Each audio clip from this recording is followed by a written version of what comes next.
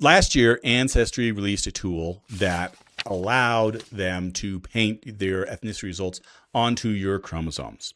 Now, I reviewed that in a previous video, but what we're going to go over today is the DNA Painter tool called Ancestry DNA Chromosome Painter Segments. Now, this starts really with information from Ancestry, and I'm actually going to be using a friend of mine's because my results from Ancestry are very homogeneous as far as each one of the chromosomes. Whereas my friend here, you can see her chromosomes are divided up into multiple different colors all throughout. And so I thought I'm probably going to get better results with this here. So on DNA Painter, if we go down and we look at the Ancestry Chromosome Painter segments, we can click on this and they have a blog that goes over what I'm going to be talking about here. But in general, this is what we need to do. We need to copy the contents of your Ancestry DNA chromosome painter page and paste them in the box below. Now, you may have never done this. They give you great instructions that walk you through this. What you need to do is on the chromosome painter page, make sure that you clicked on that, do a control A. And that control A means that you're going to highlight everything on there. You can see it looks like all the text is highlighted. It doesn't look like these graphics are highlighted, but don't worry, they are. We want to copy that. So a control C to copy everything that we've just highlighted. We're going to go over to DNA Painter and we're going to paste it. And that's control V as in Victor. And just like that, you can see the screen changed. It says my segments are extracted. It's gone and read everything that it needs to. And then you have two options. You can either create a new chromosome map or you can download the segments. And then to add this to an existing map, this is where what we're going to do.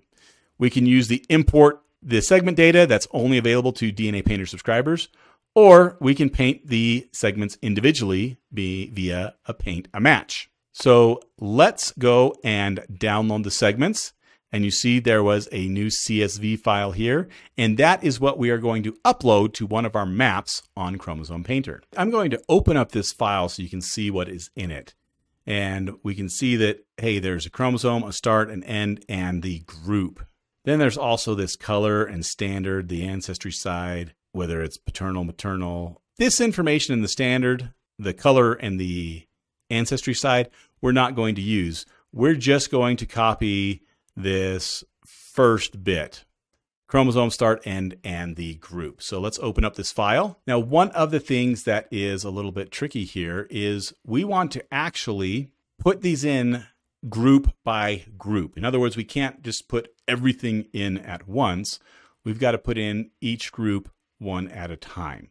So I am going to make an auto filter on this. And now I can start with the first one. And I'm going to go with the Nigeria paternal group here. So let me scroll down and find the Nigeria paternal. And this is everything for Nigeria paternal.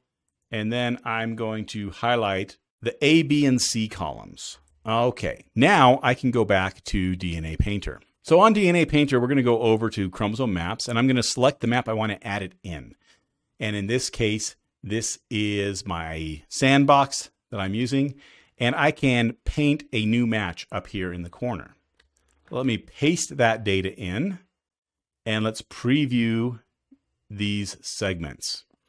All right, it has 52 new match segments. They're overlaid below and you can then take a look at them. Just save them all if you want.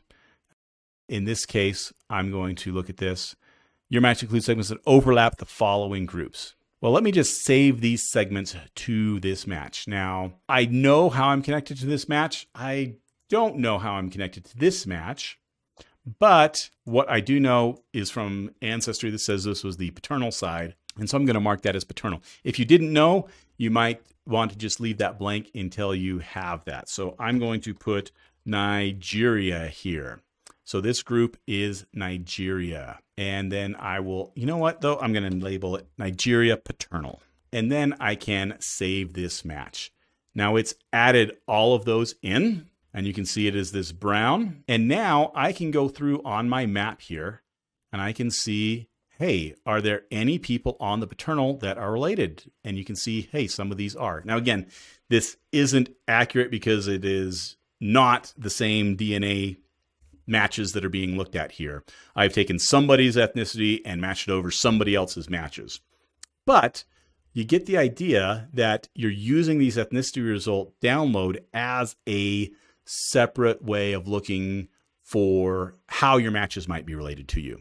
And we can go and upload it and we see that, hey, this is now 85 segments. It's gone up to 35%. You can see actually how that all falls in there and the other matches that are overlaid and underlaid on these as well. Ancestry DNA's chromosome painter is still in its infancy right now. What I would like to see in the future is whether or not we can import the data from 23andMe, which also has the same thing. I'm not sure if DNA Painter is working on that, but I also like to see improvements to Ancestry's chromosome painter when it starts to look more like what 23andMe has. I will be more confident that it is real reflection of reality. But right now, it is another way to look at some data, and some people's ethnicity breakdown by chromosome may actually be more accurate than what I was seeing on my own. So if you haven't tried this tool on DNA Painter, then log on to DNA Painter and try it out. Now, if you want to check out another tool, you can look at this video right up here. Be sure to like this video and subscribe to our channel.